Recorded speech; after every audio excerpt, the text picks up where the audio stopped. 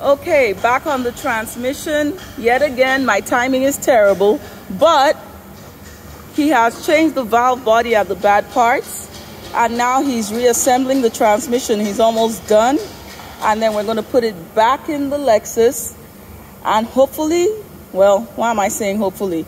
And it will be back going in reverse with no problem. Get your warranted repairs at Rad Auto Works.